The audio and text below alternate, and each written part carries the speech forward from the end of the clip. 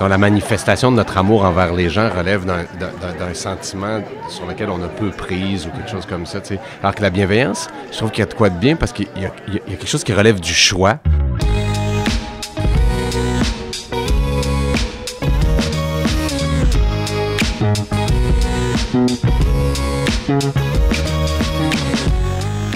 Ce qu'on voit au théâtre arrive parfois à notre voisine, à notre père, à nous.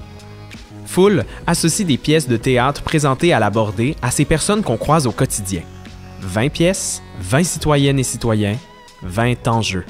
De la transidentité au CHSLD, de la guerre centrafricaine à la vie de fonctionnaire, on vous montre comment notre communauté peut contenir tout un monde, aussi fictif que réel.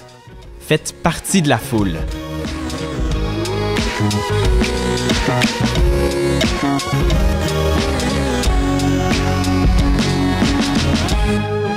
Je m'appelle Éric Leblanc, je suis auteur et artiste multidisciplinaire. L'épisode porte sur Bienveillance, écrit par Fanny Britt et présenté à la Bordée en 2017 dans une mise en scène de Marie-Hélène Gendreau. La pièce suit Gilles Jean, un avocat réputé qui abandonne une cause qu'il aurait opposée à un ami d'enfance, Bruno. Les retrouvailles de Gilles avec Bruno et sa famille sont une leçon sur comment essayer de s'aimer malgré ses erreurs et les injustices.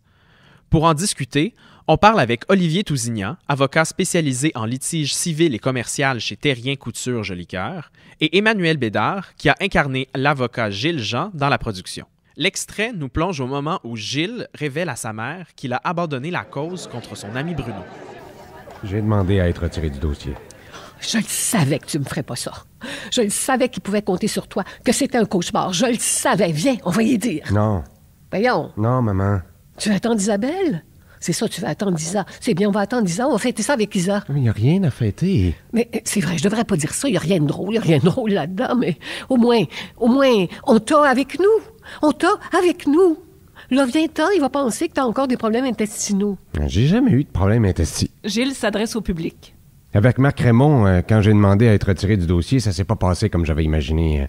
J'avais imaginé. Euh, Parle vite, marche en même temps. L'ascenseur est bloqué, on va prendre l'escalier. Euh, Maître Raymond, c'est parce que je voudrais vous dire euh, quelque chose. J'ai accepté de défendre les intérêts d'un sous-traitant qui dispatche des appels et qui, pour sauver de l'argent, a délocalisé ses centres d'appel à la suite de quoi?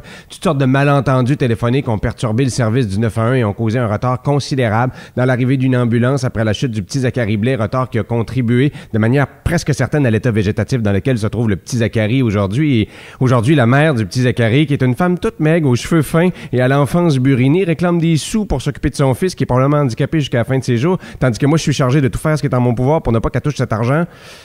Et... Et...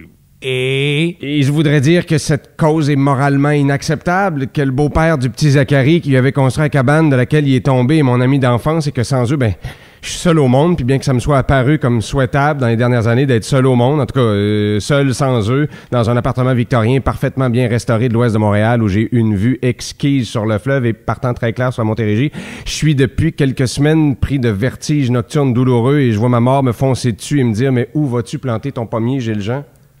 Tu veux qu'on te retire du dossier? J'aimerais ça, oui. J'aimerais ça aussi que vous abandonniez la cause à un autre cabinet, mais là, je sais que je rêve en couleur. Non. T'as raison. On va faire ça. On va abandonner la cause. Vraiment? T'aimerais ça? J'aimerais beaucoup ça. Je me sentirais bien. Euh, vous aussi, non? On, se sentirait bien tous les deux? Ouais. On se sentirait bien tous les deux. Mais avec Marc Raymond, mon patron, ça s'est pas passé comme je l'avais imaginé.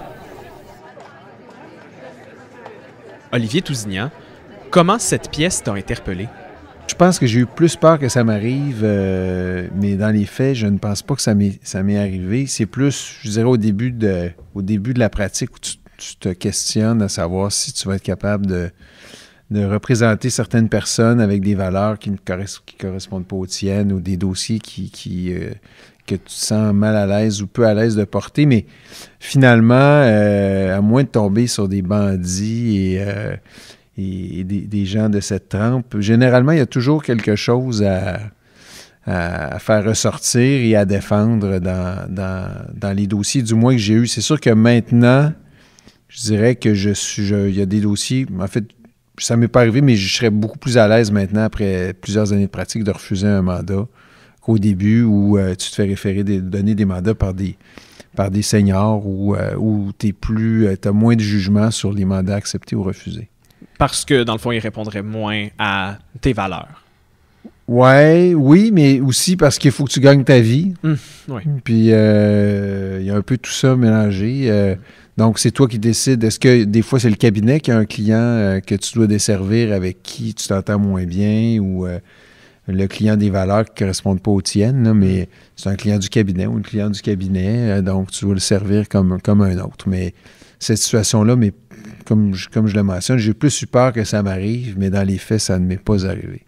Emmanuel Bédard, comment est-ce que le mot bienveillance résonne pour toi? J'avais, j'avais trouvé ça bien fun quand euh, Marie-Hélène, qui faisait la mise en scène, m'avait appelé pour. Euh, évidemment, c'est une pièce que je connaissais pas, pour m'inviter à, ce projet-là. Puis euh, avant de la lire, je me disais juste, genre, il y a de quoi de. Tu sais, j'aime ça, ce mot-là. C'est pas un mot qu'on utilise mm-hmm. Tant que ça, voire quasi jamais pour la plupart. Puis je trouve qu'il y a une résonance très profonde, c'est-à-dire que s'il peut être confondu à une sorte de, de, bonté ou d'amour ou quelque chose comme ça, il y, a quelque chose, on dirait, de, de volontaire ou de décidé. Euh, contrairement, mettons, à ce qu'on pourrait, euh, la, comment je pourrais dire, mettons, la manifestation de notre amour envers les gens relève d'un sentiment sur lequel on a peu prise ou quelque mhm. chose comme ça, tu sais. Alors que la bienveillance, je trouve qu'il y a de quoi de bien parce qu'il y, a quelque chose qui relève du choix de l'être et qui, peut ne pas faire, euh, comment je pourrais dire, de, de discrimination. C'est-à-dire qu'on pourrait l'appliquer à plus large que juste un amour ressenti ou une... Bon. Fait que je trouve que la bienveillance, ça a quelque chose de, de réfléchi, de choisi, de volontaire, puis pas dans le côté négatif du, volontaire, mais du. Je sais pas. Je me dis que si tu veux être. Si les gens étaient invités à être bienveillants, forcément, il y aurait de quoi de vraiment mieux dans la société parce que ça, ça, s'applique au-delà du ressenti, ce que je veux dire.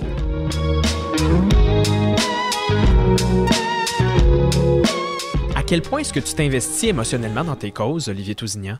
Un, tu apprends à connaître tes clients. Ça devient souvent, ça, il peut y avoir des, des relations euh, amicale qui se développe. Euh, mais je veux dire, tu, prends, finis par prendre à cœur le dossier de, tes clients.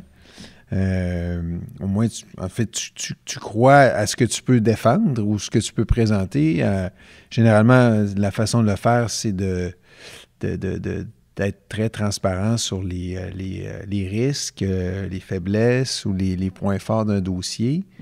et c'est l'objectif, moi, c'est toujours euh, d'agir dans leur meilleur intérêt. Mm. Donc, c'est un peu là, euh, je dirais, où j'applique la bienveillance dans ma pratique. Là. Où, euh, au bout du compte, des fois, c'est purement mathématique en termes de risque financier, à savoir, bon, c'est en fait, c'est quoi ton risque? Alors, si on va au procès, puis qu'il y a quatre jours de procès, je vais te coûter tant de milliers de dollars en honoraires ça se peut que tu en aies juste la moitié euh, selon l'évaluation du risque, ou à l'inverse, quand tu es en, défense, donc tu représentes quelqu'un qui, est poursuivi, mais ben, dis-moi, ton risque en défense, c'est que tu sois condamné à temps. À ça, il va falloir que tu rajoutes mes honoraires. Alors, quel choix tu veux faire? Alors, est-ce qu'on essaie de négocier? Moi, j'essaie toujours de. En fait, toujours. Quand c'est possible. Des fois, c'est pas possible, mais c'est de négocier un règlement. Comme ça, la partie, tes clients, ils contrôlent ce que ça va leur coûter. Mais donc, moi, je, pratique de cette façon-là. Euh, c'est sûr que dans, certains dossiers, c'est pas possible, mais c'est ce que j'essaie de faire. Puis des fois, il faut les raisonner aussi, parce que des fois, ils sont sur l'émotion. Emmanuel Bédard, comment est-ce que tu as construit ton personnage qui vit un déchirement aussi important entre ses intérêts puis ses émotions? On le dépeint un peu comme méchant, mais il n'y a pas de méchanceté à jouer dedans. C'est-à-dire, mhm. c'est tous des choix qui ont été faits avant, puis il est arrivé à un cliff, puis à partir de là, il, la pièce commence parce qu'il est arrivé pour venir dire j'ai abandonné la cause. Euh, je, pense, je me semble de mémoire, c'est loin, mais il a même quitté le cabinet d'avocat. Oui, il s'en va faire d'autres choses dans la vie. Puis ça finit, puis là, il fantasme sur le. Je retournerai voir euh, le gars de qui j'étais tombé en amour à, Londres. Puis, je veux dire, il, fait un changement de vie, ou peut-être qu'il va juste se tuer aussi, là, je sais pas. Mais, euh, en tout cas, bref, toute cette affaire-là, non, effectivement, ça ressemblait à rien. Puis c'est vraiment trippant d'aller. Euh, je me rappelle quand j'avais joué Lucy en reprise, où je jouais une espèce de cowboy sympa, puis je m'étais dit c'est le fun de jouer quelqu'un de bon. Ben, de bon, de bien. Quelqu'un de gentil, tu sais, parce que, parce que mettons, euh, je, je- je- je faisais beaucoup de, de, de méchants, là, tu sais, genre, mettons, là, tu sais, le, le gars déplaisant, ou, euh, tu sais, bon. Mais euh, là, lui, c'est comme autre chose, tu sais, c'est comme, je sais pas, c'est un grand, c'est un grand enfant qui réfléchit, tu sais, puis il voit son monde s'écrouler. C'est tough à faire, mais, mais c'était vraiment le fun. Sauf que en même temps, c'est c'est une période bien étrange. tu C'est-à-dire le, le- le temps que ça a pris ça, ce qu'il faut que tu cultives en dedans de toi pour rester on the edge, c'est à la fois cool, mais à la fois euh, pas 365 jours par année. Là. Parce que tu es obligé d'aller essayer de finir par déterrer quelque chose.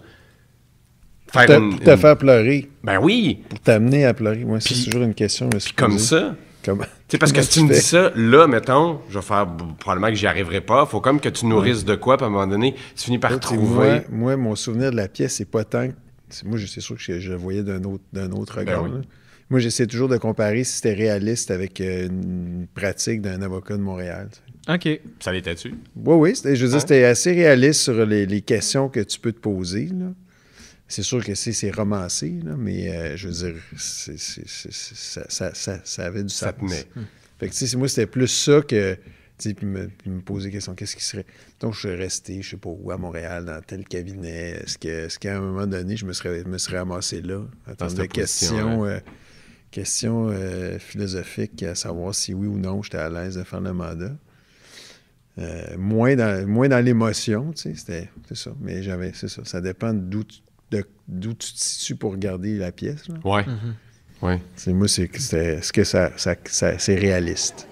Est-ce que ça aurait pu m'arriver?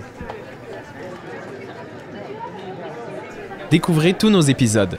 Cherchez Full sur votre plateforme de balado préférée. Full, c'est plus qu'un podcast. C'est aussi une murale et un site web. Rencontrez nos citoyennes et citoyens et nos pièces à l'honneur. Rendez-vous sur full.labordé.ca ou derrière le théâtre Labordé, coin Charret et Dorchester à Québec pour voir la murale et sa projection nocturne. La murale prend fin le 15 mai 2021. Full le balado, l'équipe. À la prise de son et au montage, Pamela Bisson. À la conception sonore, Mathieu Doyon. À l'interprétation des extraits de pièces, Emmanuel Bédard, Frédéric Bradet, Lise Castonguay et Mathieu Bérubé-Lemay. À la réalisation, André Chouinard. Le balado est une production du théâtre Labordé et Atwood, un duo de photographes formé de Jean-François Bolduc et moi-même, Éric Leblanc. Cette production est faite en collaboration avec CKIA. Ces balados sont rendus possibles grâce au soutien du Conseil des arts et des lettres du Québec et du Conseil des arts du Canada. En terminant, il est important de reconnaître que l'enregistrement de ce balado s'est tenu sur le Nihon Wentio, en territoire non cédé Wendat. Partie de la foule.